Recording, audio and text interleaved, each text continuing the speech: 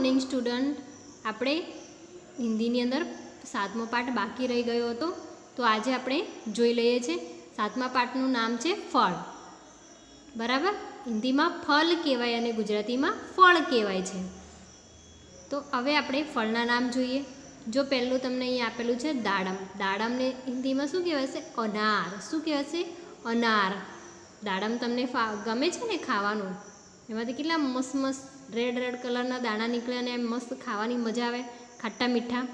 તો આ દાડમને હિન્દીમાં અનાર કહેવાય. પછી છે કેરી. કેરી તો બધાને ભાવતી હશે. રસ ખાવાની મજા પડે ને ઉનાળામાં. કેરી એટલે એને હિન્દીમાં કહેવાશે આમ. પછી દ્રાક્ષ. દ્રાક્ષને હિન્દીમાં કહેવાય અંગૂર. શું કહેવાશે? અંગૂર. સફરજન. પછી આવે છે સફરજન. તો સફરજનને હિન્દીમાં શું કહેવાય? સેબ. શું કહેવાશે? સેબ. હવે અહીંયા જુઓ, કેળું. તો કેળું એને હિન્દીમાં કહેવાશે કેલા. શું કહેવાશે? કેલા. પછી નારંગી છે. તો નારંગીને હિન્દીમાં કહેવાય નારંગી જ કહેવાશે. પણ એ લખો જો લખાય કેવી રીતે છે? એ યાદ રાખો. પપૈયું. તો પપૈયાને પપીતા કહેવાશે. શું કહેવાશે? પપીતા. તરબૂચ. તરબૂચ એને કહેવાય તરબૂજ. અહીંયા તરબૂચ છે, એને કહેવાશે તરબૂજ. છેલ્લે જ લાગે, બરાબર? એટલે તમે જો શુદ્ધ લેખનમાં પૂછાય તો તરબૂચ કેવી રીતે લખાય એ તમારે અહીંયા ધ્યાન રાખવાનું છે. પછી સીતાફળ, તો સીતાફળને શું કહેવાશે? શરીફા. શું કહેવાશે? શરીફા. જાંબુ, તો જામુન ખજૂર તો ખજૂર જ થશે, ચીકુ તો ચીકુ જ કહેવાશે. હવે બીજા કેટલાક, બીજા નામ જોઈએ આપણે. જમરૂક તો એને કહેવાશે અમરૂદ. શું કહેવાશે? અમરૂદ. આંબલી, તો એને કહેવાશે ઈમલી. નારિયળ, તો નારિયલ. પાછળ હળોનો લ થશે. શક્કરટેટી તો એને ખરબૂજા કહેવાય. શક્કરટેટીને શું કહેવાય? ખરબૂજા. અનાનસ, તો એને અનાનસ જ કહેવાય. હવે તમે ક્યારેક મમ્મી જોડે કે પપ્પા જોડે બજારમાં જાઓ ફળ લેવા માટે, તો તમારે હિન્દીમાં નામ બોલવાના એના, બરાબર? અને આ તમારે નીચે તમને જગ્યા આપેલી છે, ત્યાં તમારે આવી રીતે લખવાનું છે. અહીંયા બાજુમાં પણ તમને જગ્યા આપેલી છે, ત્યાં પણ તમારે સ્વદેપોથીમાં લખવાનું છે. હવે આપણે એની એક્સરસાઇઝ જોઈ લઈએ. બરાબર? તમારે ઘરે લખીને મોડે કરવાના છે આ શબ્દો. હવે અહીંયા આપણને એરો આપીને દર્શાવ્યું છે કે અહીંયા લખવાનું છે. આને શું કરવાનું છે? આ ફળોના નામ હિન્દીમાં લખવાના છે. તો નારંગી તો નારંગી હિન્દીમાં કઈ રીતે લખાય? એ લખવાનું છે. કેળા, તો અહીંયા આવશે કેલા. સફરજન, તો સેબ.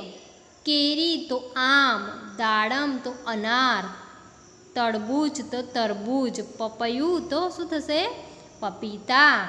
આ રીતે તમારે અહીંયા એના નામ લખવાના છે. બીજા અહીંયા નીચે પણ આપેલા છે શબ્દો. જુઓ.